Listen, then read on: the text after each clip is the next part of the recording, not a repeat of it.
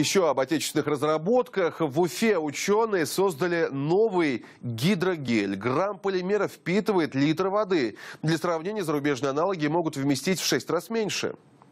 Кажется, где полимеры, где мы с вами простые смертные, но на самом деле материал используют в самых разных областях, от подгузников до нефтедобычи. Вот такой вот разлет. Гидрогель добавляют в бетон, которым заливают скважины. Стройматериалы становятся пластичнее, прочнее, да и спиртом очищают. Для фермеров, кстати, гидрогель вообще решает проблему поливки растений. Гидрогели можно использовать как влага, для влагозадержания в теплицах. То есть при внесении гидрогелей в почву гидрогель удерживает воду и пер- периодичность полива здесь существенно снижается. То есть можно не каждый день поливать, а, допустим, раз в неделю. Сколько стоит чудо-гель, ученые пока умалчивают, точные цифры не называют, но обещают, заказчиков цены приятно удивят.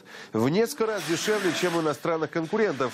Продукт пока не запатентовали, однако будущих покупателей уже нашли. Желанием опробовать продукт горят ростовские НИИ сельского хозяйства и бизнесмены в Челябинске. Для, чтобы было.